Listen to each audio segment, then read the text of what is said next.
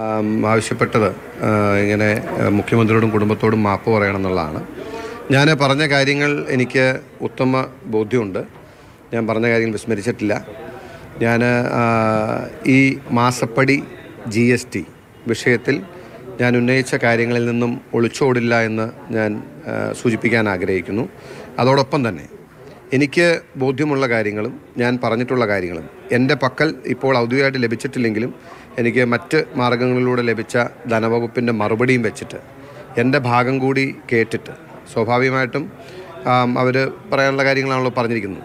എന്റെ ഭാഗം കൂടി കേട്ടിട്ട് ജനം വിലയിരുത്തട്ടെ. ഞാൻ മാപ്പ് പറയേണ്ടതാണോ അല്ലയോ എന്ന് ജനം വിലയിരുത്തട്ടെ എന്നതാണ് എന്റെ ഒരു പക്ഷം. ഈ ജി എസ് ടി അടച്ച തീയതി താങ്കൾ സംശയത്തോടെ കാണുന്നുണ്ട്. ഈ വിവാദങ്ങൾക്ക് ശേഷമോ അല്ലെങ്കിൽ ഒരു റെയ്ഡിന് ശേഷമോ ഈ സി എം ആറിൽ നടന്ന റെയ്ഡിനോ ഇടയിലാണ് ജി എസ് ടി അടച്ചിട്ടുണ്ടാകുന്നത് എന്ന് കരുതുന്നു അല്ല കേരളത്തിന്റെ പൊതുസമൂഹം ഇത്രയേറെ ഡീറ്റെയിൽ ആയിട്ട് ചർച്ച ചെയ്ത ഒരു വിഷയത്തിൽ ക്ലാരിറ്റി വരുത്തുന്നതിന് വേണ്ടിയിട്ടാണല്ലോ ഇപ്പോൾ ധനവകുപ്പ് ഈ ഒരു കമ്മ്യൂണിക്കേഷൻ എന്നാണ് പറയുന്നത് ഒരു കത്ത് നൽകിയിരിക്കുന്നത്. അതിൽ എന്തുമാത്രം ക്ലാരിറ്റി ഉണ്ട്? അല്ലെങ്കിൽ എന്തുകൊണ്ട് ക്ലാരിറ്റി ഇല്ല? സ്വാഭാവികമായിട്ടും പണമടയ്ക്കുന്നത് ഏത് ഏത് കാര്യത്തിലാണെങ്കിലും പണമടയ്ക്കുന്നത് ഏത് ഡേറ്റിലാണ് ഏത് സമയത്താണ് എത്ര തുകയാണ് അടിച്ചത് എന്ന് എന്ന് വരുമ്പോഴാണല്ലോ അതിനൊരു ഒരു ഇത് വരിക. അപ്പോൾ സ്വാഭാവികമായിട്ടും അതുപോലത്തെ ഡീറ്റെയിൽസിന് എനിക്ക് അയച്ച കത്തിലുണ്ടോ ഇല്ലയോ എന്ന് നോക്കുന്നതിന് കൂടി വേണ്ടിയിട്ടാണ് ഞാൻ വെയിറ്റ് ചെയ്യുന്നത്. കാരണം അത് തന്നിട്ടില്ല എന്ന് പറയുമ്പോൾ. അത് പറയുന്നതിന് മുമ്പ് ഇനിയിപ്പോൾ എന്താണെങ്കിലും എനിക്കിനിയിപ്പോൾ ഒരുപാട് ദിവസം അതിന് വേണ്ടി വെയിറ്റ് ചെയ്യാൻ പറ്റില്ല മറുപടി കിട്ടിയിട്ടില്ല താങ്കൾ അല്ല എനിക്ക് എന്റെ ഇപ്പോൾ വാട്സപ്പിൽ ഞാൻ പലരും അയച്ചു തന്ന് മാധ്യമങ്ങൾക്ക് ലഭിച്ച ഒരു പകർപ്പ് എനിക്കും അയച്ചു തന്നു. അപ്പോൾ അത് മാത്രമേ ഉള്ളൂ എന്ന് ഞാൻ വെരിഫൈ ചെയ്യുന്നുണ്ട്. എനിക്ക് അയച്ചിട്ടുള്ളതിൽ മറ്റ് അഡീഷണലായിട്ട് എന്തെങ്കിലും ഉണ്ടോ എന്നുകൂടി പരിശോധിക്കുന്നുണ്ട്. അപ്പം അതാണ് ഞാൻ പറഞ്ഞ വിശദാംശങ്ങളും വിവരങ്ങളും അറിഞ്ഞിട്ട് പ്രതികരിക്കണം എന്നാണ് ഞാൻ ആഗ്രഹിക്കുന്നത്.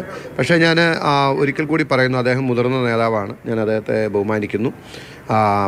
അദ്ദേഹവും എന്റെ വിശദീകരണം കേൾക്കാനും കേട്ടിട്ട് അദ്ദേഹത്തിന്റെ അഭിപ്രായം രേഖപ്പെടുത്താനും തയ്യാറാകണം.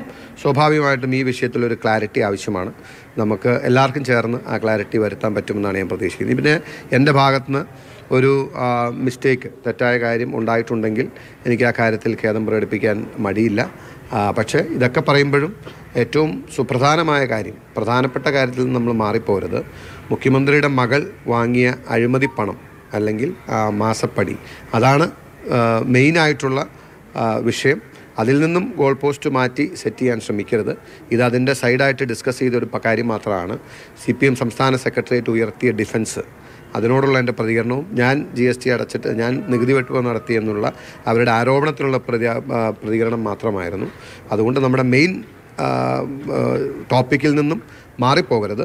മുഖ്യമന്ത്രിയുടെ മകൾ വാങ്ങിയ അഴിമതി പണം ഇന്നും അതിന്റെ ലീഗൽ സ്റ്റാറ്റസ് എന്ന് പറയുന്നത്. ഇന്നത്തെ ദിവസം ഈ മണിക്കൂറിൽ ആ പണത്തിന്റെ ലീഗൽ സ്റ്റാറ്റസ് എന്ന് പറയുന്നത് ഇല്ലീഗൽ എൻറിച്ച്മെന്റിന് വേണ്ടിയിട്ട് അല്ലെങ്കിൽ നിയമവിരുദ്ധമായി നൽകിയ പണം എന്ന് തന്നെയാണ്. അഴിമതി പണം എന്നതാണ് അതിന്റെ ഇന്നത്തെ സ്റ്റാറ്റസ് അപ്പോൾ അത് നമ്മൾ വിസ്മരിക്കരുത്. അതാണ് മെയിൻ ഡിസ്കഷൻ പക്ഷേ ഇത് നമുക്ക് ക്ലാരിറ്റി വരുത്താം. എ എ റഹീം ഒരു പ്രസ്താവന നടത്തിയിട്ടുണ്ട്. താങ്കൾക്ക് അറ്റൻഷൻ സീക്കിംഗ് സിൻഡ്രോം ആണെന്ന് പറഞ്ഞു.